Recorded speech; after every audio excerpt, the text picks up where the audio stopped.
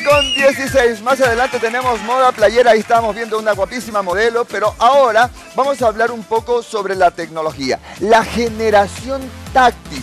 Usted va a escuchar eso, la generación táctil, ¿de qué se trata esto? Y es que son los niños, los jóvenes, los adolescentes que ahora están buscando o encuentran en sus celulares, en las tablets, en las computadoras, todo lo que están necesitando. Pero, ¿cuál es el pro? ¿Cuál es la, la contra de la tecnología? ¿El buen uso o el mal uso que ellos le pueden dar? Pues vamos a ver la siguiente nota.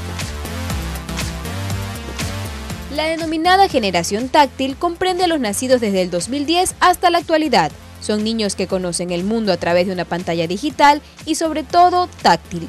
Para ellos, los juegos tradicionales quedaron en el pasado y no les llaman la atención. Prefieren divertirse con aparatos electrónicos. ¿Pero por qué es tan común esto? El primer factor es lo atractivo que resultan estos aparatos electrónicos simplemente al cogerlos, ¿no?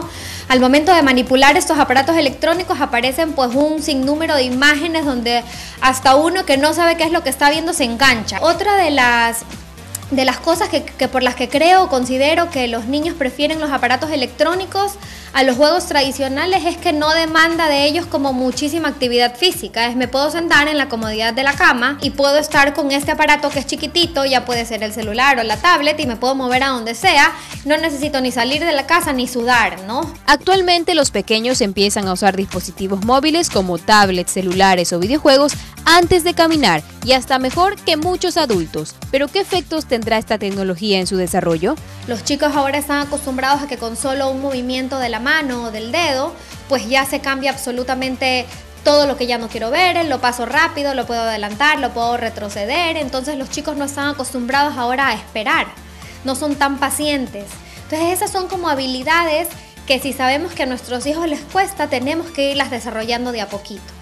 Pero esa no es la única consecuencia negativa. Los niños de la generación táctil pueden volverse sedentarios, tener problemas con la escritura ya que todo lo hacen mediante pantallas táctiles, permanecen alejados de la realidad que los rodea y limitan su interacción social con los demás.